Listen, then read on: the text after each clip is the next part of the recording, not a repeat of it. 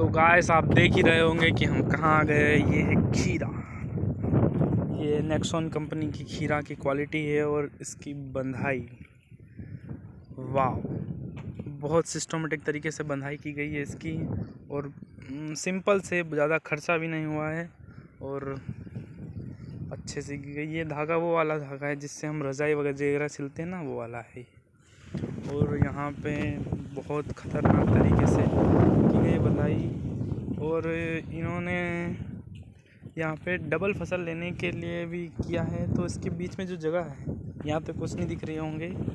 आगे दिखेगा आपको ये। ये धनिया है। ये धनिया लगाया है। तो दोनों फ़सल हो जाएँगी। खीरा लगेगी, तब तक ये धनिया उखड़ के बिक जाएँगी।